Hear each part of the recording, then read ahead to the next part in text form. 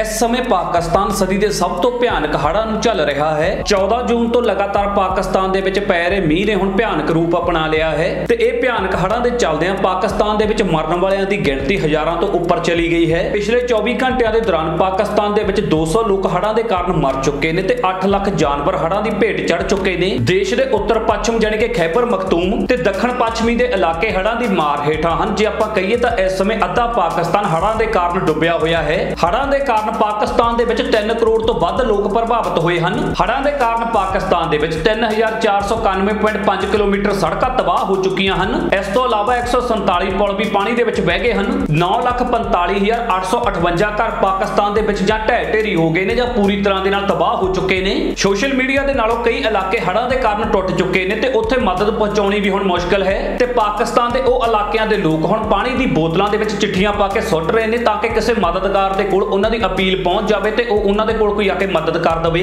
ਭਾਰੀ ਮੀਂਹ ਦੇ ਨਾਲ ਪਾਕਿਸਤਾਨ ਦੇ ਵਿੱਚ ਕਈ ਨਦੀਆਂ ਆਪਣੇ ਲੈਵਲ ਤੋਂ ਉੱਪਰ ਹੋ ਕੇ ਚੱਲ ਰਹੀਆਂ ਨੇ। ਪਾਕਿਸਤਾਨ ਦੇਸ਼ ਦੇ ਜਲਵਾਯੂ ਮੰਤਰੀ ਮਿਸਟਰ ਰਹਿਮਾਨ ਨੇ ਕਿਹਾ ਹੈ ਕਿ ਪਾਕਿਸਤਾਨ ਇਸ ਸਮੇਂ ਹੜ੍ਹਾਂ ਦੇ ਕਾਰਨ ਬਹੁਤ ਬੁਰੀ ਸਥਿਤੀ ਦੇ ਵਿੱਚ ਫਸਿਆ ਹੋਇਆ ਹੈ। ਜਿਹੜੇ ਪਾਕਿਸਤਾਨ ਦੇ ਵਿੱਚ ਅੱਜ ਅਜਿਹੇ ਹਾਲਾਤ ਬਣੇ ਨੇ, ਇਹ ਪੂਰੀ ਤਰ੍ਹਾਂ ਦੇ ਨਾਲ ਕੁਦਰਤੀ ਨਹੀਂ ਹਨ। ਇਹਨਾਂ ਦੇ ਵਿੱਚ ਇਨਸਾਨਾਂ ਦਾ ਵੀ ਹੱਥ ਹੈ। ਇਸ ਸਾਲ ਪਾਕਿਸਤਾਨ ਦੇ ਵਿੱਚ 166 ਮਿਲੀਮੀਟਰ ਮੀਂਹ ਪਿਆ, ਜਿਹੜਾ ਕਿ ਸਧਾਰਨ ਮੀਂਹ ਦੇ ਨਾਲੋਂ 40 ਗੁਣਾ ਜ਼ਿਆਦਾ ਹੈ। ਤੇ ਪਾਕਿਸਤਾਨ ਦੇ ਵਿੱਚ ਹੁਣ ਤੱਕ 5.5 ਅਰਬ ਡਾਲਰ ਦਾ ਹੜ੍ਹਾਂ ਦੇ ਕਾਰਨ ਨੁਕਸਾਨ ਹੋ ਚੁੱਕਿਆ ਹੈ। ਇਸ ਦੇ ਚੱਲਦੇ ਸਿੰਧ ਅਤੇ ਪੰਜਾਬ ਦੀਆਂ ਫਸਲਾਂ ਪੂਰੀ ਤਰ੍ਹਾਂ ਦੇ ਨਾਲ ਤਬਾਹ ਹੋ ਚੁੱਕੀਆਂ ਹਨ ਤੇ ਸਰਕਾਰੀ ਗੋਦਾਮਾਂ ਦੇ ਵਿੱਚ ਪਿਆ ਅਨਾਜ ਪਾਣੀ ਦੇ ਕਾਰਨ ਤਬਾਹ ਹੋ ਚੁੱਕਿਆ ਹੈ। ਪਹਿਲਾਂ ਤੋਂ ਹੀ ਆਰਥਿਕ ਅਤੇ ਤੰਗੀ ਦੇ ਨਾਲ ਜੂਝ ਰਹੇ ਪਾਕਿਸਤਾਨ ਦੇ ਲਈ ਇਹ ਕਿਸੇ ਸ਼ਰਾਬ ਤੋਂ ਘੱਟ ਨਹੀਂ ਹਨ। ਪਾਕਿਸਤਾਨ ਦੀ ਮਦਦ ਦੇ ਲਈ ਹੁਣ ਕਈ ਹੱਥ ਅੱਗੇ ਆ ਰਹੇ ਹਨ। ਸੰਯੁਕਤ ਰਾਸ਼ਟਰ ਤੋਂ ਆਈ ਖਬਰ ਦੇ ਅਨੁਸਾਰ ਸੰਯੁਕਤ ਰਾਸ਼ਟਰ ਪਾਕਿਸਤਾਨ ਨੂੰ 16 ਕਰੋੜ ਡਾਲਰ ਦੀ ਮਦਦ ਭੇਜ ਸਕਦਾ ਹੈ। ਇਸ ਤੋਂ ਇਲਾਵਾ ਬ੍ਰਿਟੇਨ ਨੇ ਵੀ ਪਾਕਿਸਤਾਨ ਨੂੰ 15 ਲੱਖ ਪਾਉਂਡ ਦੀ ਮਦਦ ਕਰਨ ਦਾ ਭਰੋਸਾ ਦਿੱਤਾ ਹੈ। ਉੱਥੇ ਹੀ ਤੁਰਕੀ ਯੂਏਈ ਅਤੇ ਈਰਾਨ ਨੇ ਪਾਕਿਸਤਾਨ ਦੇ ਪ੍ਰਧਾਨ ਮੰਤਰੀ ਸ਼ਹਿਬਾਜ਼ ਸ਼ਰੀਫ ਨਾਲ ਗੱਲਬਾਤ ਕਰਕੇ ਉਹਨਾਂ ਨੂੰ ਮਦਦ ਦੀ ਪੇਸ਼ਕਸ਼ ਕੀਤੀ ਹੈ।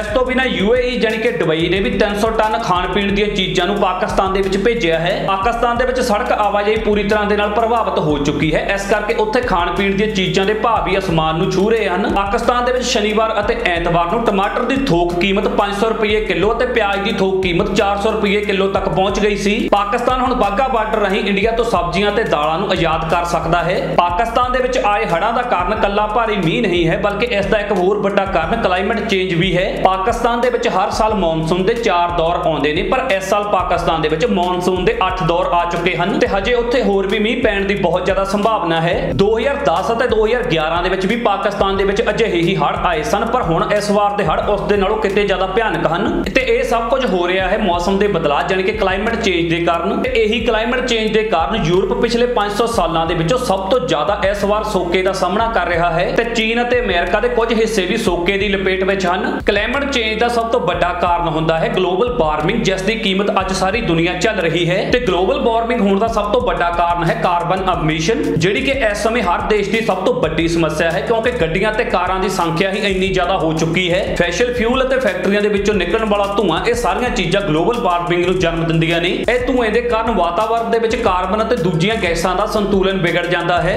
ਅਸਲ ਦੇ ਵਿੱਚ ਜਦੋਂ ਸੂਰਜ ਦੀ ਦੀਆਂ ਕਿਰਨਾਂ ਸਾਡੀ ਧਰਤੀ ਦੇ ਉੱਪਰ ਪੈਂਦੀਆਂ ਨੇ ਤੇ ਸਾਡੀ ਧਰਤੀ ਉਹਨਾਂ ਕਿਰਨਾਂ ਨੂੰ ਸੋਖ ਲੈਂਦੀ ਹੈ। ਪਰ ਜਦੋਂ ਵਾਤਾਵਰਣ ਦੇ ਵਿੱਚ ਗ੍ਰੀਨ ਹਾਊਸ ਗੈਸਾਂ ਜਿਵੇਂ ਕਿ ਕਾਰਬਨ ਡਾਈਆਕਸਾਈਡ ਨਾਈਟ੍ਰੋਜਨ ਆਕਸਾਈਡ ਅਤੇ ਮੀਥੇਨ ਦੀ ਮਾਤਰਾ ਵਾਤਾਵਰਣ ਦੇ ਵਿੱਚ ਵੱਧ ਜਾਂਦੀ ਹੈ, ਤਾਂ ਇਹ ਸਾਰੀਆਂ ਗੈਸਾਂ ਮਿਲ ਕੇ ਧਰਤੀ ਦੇ ਆਲੇ ਦੁਆਲੇ ਇੱਕ ਲੇਅਰ ਬਣਾ ਦਿੰਦੀਆਂ ਨੇ, ਇੱਕ ਕੰਬਲ ਦੀ ਤਰ੍ਹਾਂ। ਜਿਸ ਦੇ ਕਾਰਨ ਸੂਰਜ ਦੀ ਗਰਮੀ ਧਰਤੀ ਦੇ ਉੱਪਰ ਆਉਂਦੀ ਤਾਂ ਜ਼ਰੂਰ ਹੈ, ਪਰ ਉਹ ਰਿਫਲੈਕਟ ਕਰਕੇ ਧਰਤੀ ਤੋਂ ਬਾਹਰ ਨਹੀਂ ਨਿਕਲਦੀਆਂ, ਬਲਕਿ ਧਰਤੀ ਦੇ ਉੱਪਰ ਹੀ ਰਹਿ ਜਾਂਦੀਆਂ ਨੇ। ਤੇ ਇਹ ਸੂਰਜ ਦੀ ਗਰਮੀ ਦੇ ਕਾਰਨ ਹੀ ਧਰਤੀ ਦੇ ਉੱਪਰ ਤਾਪਮਾਨ ਦਾ ਵਾਧਾ ਹੁੰਦਾ ਹੈ ਤੇ ਧਰਤੀ ਹੋਰ ਜ਼ਿਆਦਾ ਗਰਮ ਹੋ ਜਾਂਦੀ ਹੈ। ਤੇ ਇਸ ਦੇ ਨਾਲ ਹੀ ਗਲੇਸ਼ੀਅਰ ਅਤੇ ਪਹਾੜਾਂ ਦੇ ਉੱਪਰ ਜੰਮੀ ਹੋਈ ਬਰਫ਼ ਪਿਘਲਣ ਲੱਗਦੀ ਹੈ। ਅੰਟਾਰਕਟਿਕਾ ਦੇ ਉਹ ਇਲਾਕੇ ਜਿੱਥੇ ਕਦੇ ਵੀ ਗਰਮੀ ਨਹੀਂ ਪੈਂਦੀ ਸੀ, ਹੁਣ ਗਰਮੀ ਦੇ ਕਾਰਨ ਉੱਥੋਂ ਦੇ ਗਲੇਸ਼ੀਅਰ ਵੀ ਪਿਘਲਣ ਲੱਗੇ ਹਨ ਤੇ ਇਹਨਾਂ ਕਾਰਨਾਂ ਕਰਕੇ ਹੀ ਸਮੁੰਦਰ ਦਾ ਜਲ ਪੱਧਰ ਵਧ ਰਿਹਾ ਹੈ ਤੇ ਕੁਦਰਤੀ ਸੰਤੁਲਨ ਵਿਗੜ ਰਿਹਾ ਹੈ। ਇਸ ਕਰਕੇ ਕੁਦਰਤ ਸਾਨੂੰ ਹਜੇ ਸਿਗਨਲ ਦੇ ਰਹੀ ਹੈ ਕਿ ਸੁਧਰ ਜਾਓ, ਜੇਕਰ ਅਸੀਂ ਨਾ ਸੁਧਰੇ ਤਾਂ ਸਾਰੇ ਦੇਸ਼ਾਂ ਦੇ ਹਾਲਾਤ ਪਾਕਿਸਤਾਨ ਵਰਗੇ ਹੋਣਗੇ ਤੇ ਇਸ ਸਮੇਂ ਸਾਰੇ ਦੇਸ਼ਾਂ ਨੂੰ ਇਨਸਾਨੀਅਤ ਦੇ ਨਾਤੇ ਪਾਕਿਸਤਾਨ ਦੇ ਨਾਲ ਖੜਨਾ ਚਾਹੀਦਾ ਹੈ ਤਾਂ ਕਿ ਉਹ ਆਪਣੇ ਬੁਰੇ ਦੌਰ ਦੇ ਵਿੱਚੋਂ ਬਾਹਰ ਨਿਕਲ ਸਕੇ। ਪਾਕਿਸਤਾਨ ਦੇ ਵਿੱਚ ਆਏ ਹੜ੍ਹਾਂ ਦੇ ਤੁਹਾਨੂੰ ਕੀ ਕਾਰਨ ਲੱਗਦੇ ਨੇ? ਸਾਨੂੰ ਕਮੈਂਟ ਕਰਕੇ ਜਰੂਰ ਦੱਸਣਾ। ਸਾਡੇ YouTube ਦੇ ਚੈਨਲ ਜੋ ਟੀਵੀ ਨੂੰ ਜਰੂਰ ਸਬਸਕ੍ਰਾਈਬ ਕਰਨਾ ਤੇ Facebook ਦੇ ਪੇਜ ਜੋ ਟੀਵੀ ਨੂੰ ਜਰੂਰ ਫੋਲੋ ਕਰਨਾ।